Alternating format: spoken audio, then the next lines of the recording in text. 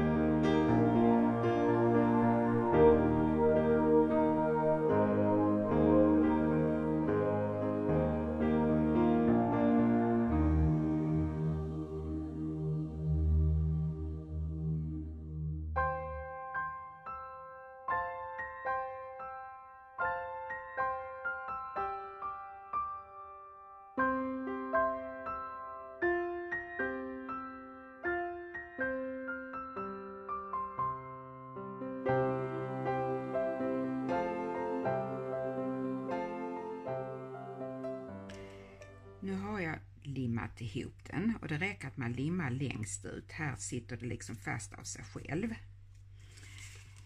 Eh, jag har ju den svarta kortbasen men jag tänkte först limma direkt på. Men sen är det ju insidan, det är så lätt att den blir bubblig när man limmar direkt på så.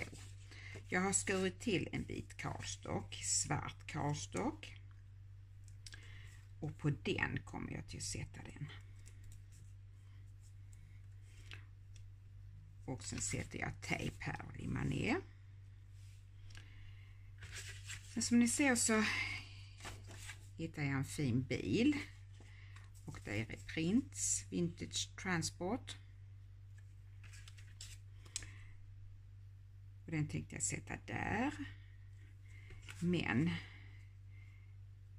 tänkte jag inka lite kanter och sen klipper jag ut en ram i svart på. Tror jag blir snyggt. Så då fortsätter jag.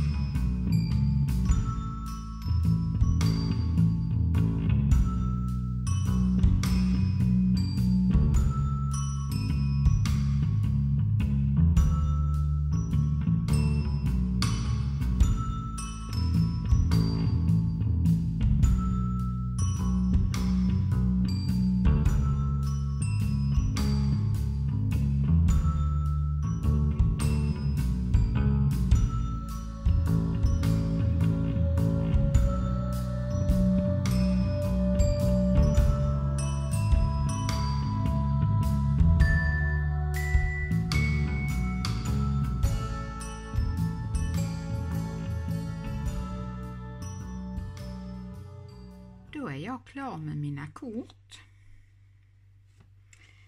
Det första på svart kortbas blir så här.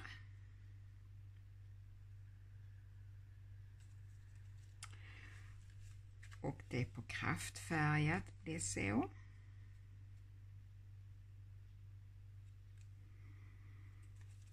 Min plan var först att ha den gröna bilen där. Men så märkte jag att det var ingen grön eh, pappersremsa överhuvudtaget. Men här hittade jag lite utav de gröna. Så då satte jag den på den kraftfärgade istället.